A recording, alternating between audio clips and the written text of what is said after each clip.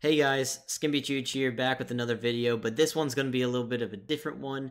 Today we got the Kino der Toten Easter egg song speedrun tutorial. Uh, this is something that I've been wanting to make for a long time. Uh, I remember when I got into the speedrunning game for Black Ops 2 Zombies, uh, I didn't really have anything like this. I didn't know where the information was at, so this information is for you all. For anyone that wants to speedrun this game, for anyone that is speedrunning and wants some more information on so the strats you need to do or the routes you need to take, this is for you also. I hope you all can learn a lot from this. First of all, for the Easter egg song speedrun of any map, not just Kino der Toten, you need to know the amount of points that you need to open all the doors, and you also need to know the routes to take. So for Kino der Toten, you need a total of 5,550 points minimum um, to get all the doors open.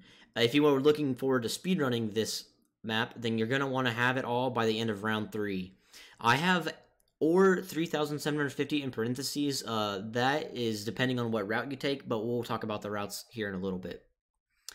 Uh, to get 5,500 points by the end of round 3, you need a double points drop. Since there is no way to get that many points by the end of round 3, it is impossible unless you have a double points drop. And then the insta-kill or nuke or the kaboom power-up. Um, those are just for speed running. Um, since obviously, if you get insta kill, you can kill zombies faster, and if you get a double points nuke, that's 800 free points in your pocket. So, uh, if you're looking to take on the world record, then those are going to be the ones you also need on top of the double points. And there's also two main routes. There's an outside round three route and a spawn room round three route. Now we'll talk about uh, both of those here in a little bit, but uh, those are up to personal preference. They both have the capability of getting the world record, but uh, like I said, we'll talk about those in a little bit. Now, um, if you know anything about Black Ops Zombies, you know that if you want to play the Easter egg song, you gotta activate three of something. Whether it be teddy bears, whether it be beer bottles in the case of Mob of the Dead in Black Ops 2, or rocks in this case. So in uh, Kino der Toten, this is the spawn room right here. The first rock's going to be found by this barrier that we'll be sitting by for rounds 1 and 2. So we can go ahead and get that. And then this is where the other two rocks are. Uh, the route that I'm going to be running here is the inside route uh, for if you're going to be uh, doing the spawn room route. Um, you're going to want to run this since it is faster than going the other way. Uh, but the second rock is right in here inside the dressing room. It's going to be right in this corner beside these mannequins. And then the last one's just going to be across the theater into the staircase. And it, it should be right in here in this little cubby on the shelf with all the letters. And obviously when I press it, the song will start playing. Now, for each of the routes, the round 1 and 2 strat are going to be exactly the same. So, once you load in, you're going to want to run over to this stone. Go ahead and activate it so you don't forget it. And then you're going to want to sit by this barrier and wait around the 11 second mark. I don't have my live split timer up right now. But should be around now. And then as soon as you throw that nade, you're going to want to run over and throw it in this little corner by the glass. So you'll not only get any zombies that come out, but anyone that are, uh, are like back here where the spawner is. And then you're going to want to run to the other barriers knife the zombies that are there, obviously use ammo, and then you rinse and repeat for round two. Uh, for the timing on the this first nade for round two, I like doing it 20 seconds after the end of the first round. I don't have my live split up right now, but basically I have it track when my round one ends, and then as soon as it ends, uh, I wait until 20 seconds, and then I throw this nade, throw that nade, and then do it all again. And then after this round is when the routes will start to change. So first, we have the outside route. Uh, as you can see, I'm in a situation where it is the end of round two, as it would be in the normal speed run. And so what I'm going to do is you're going to kill the last zombie, and then you're immediately going to start running into the fire trap room, and then into the alleyway. And then I like to stand in this spot right here and angle it to where I can see on top of this building and this barrier, because zombies can spawn in both of those. And it is obviously best if they start spawning here because you're right next to the door to go ahead and start your run for the rocks. Uh, we only got a couple zombies this time. we got a few here. So if this was a speed run, I would let it let them break down the barrier, farm up some points, hopefully be a double points, and then you can go on through this door. Now, I do want to uh, point out something. There are only three zombies that I've seen so far, four if you include the ones that I've killed, and I've found out, I don't know how common knowledge, but if you stand in this room, zombies will only spawn in this room and in this room.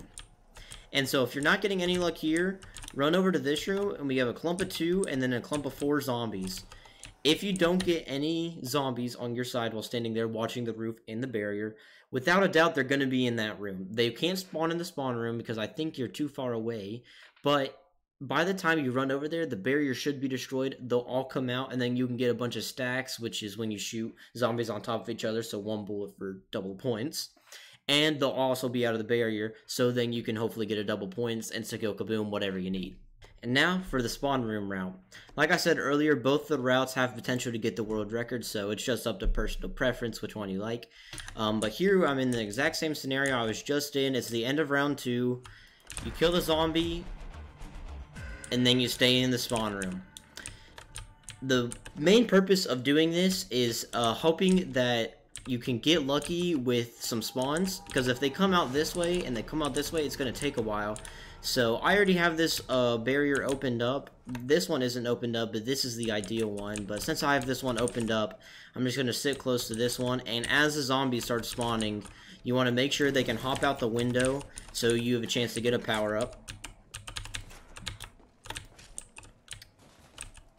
And basically from here you farm until you have 5,500 points and then as soon as you get done, you run, open this door, and start the run all the way around to get all the rocks. And hopefully you'll get a world record with that run. Now for the timer, these are the splits that I like to use. I like having a round one split, a round two split, and then the song, whatever, you know, what the name of the song is. I like having that as the final split. For the split here, for Kino der Toten, I like having the amount of points that you need for uh, the respective route. So if you're doing the outside route, you're going to want 3,750. And if you're using the spawn room route, you're going to want 5,500. That just helps you keep track of what route you're doing and how many points you need. And then I just have my splits compared to the world record at the time. So that's why they're different. But overall, it's basically the same thing. You can do the split however you want. You obviously don't even need splits. You just need a timer. But if you like keeping track of the splits, this is what I like to do. Now, in the videos, you probably saw me doing some strafe jumps and some different movement things. And uh, if you're confused by that, uh, don't feel bad because I was the exact same way. Uh, I never understood movement or anything like that uh, until I saw this video by Zaiydo, who's an amazing Call of Duty Zombies and campaign speedrunner. Um, this video goes over the Black Ops 1 movement. It goes over all the different kinds of movement that you can find to help speed up your times and increase uh, the world record. Um, this video has so much information packed into it, and I'm going to have it down in the description. I think if you are speedrunning any Call of Duty game, this is a video that you need to watch. So um, if y'all are interested, go click down in the description below, show some love to Zaiydo, and learn a few things. But other than that, that's the end. I uh, hope you all enjoy, and I hope you all are uh, enjoying this kind of content. This is something new for my channel, so I don't know how it'll sit, but hopefully I can make some more in the future because I do enjoy spreading this information and hopefully we can do some more maps in the future. So I appreciate you all. Uh, in the description, I'll also have two more videos along with a Zaiydo video. I'll have the current world record, which is uh, the one that I did using the outside route. And I'll also have the former world record, which is second place on the leaderboard right now, which uses the spawn room route. Both of the routes, like I said, are capable of getting world records. It's just personal preference. But with all that being said, I hope you all enjoyed the video and good luck out there. Peace.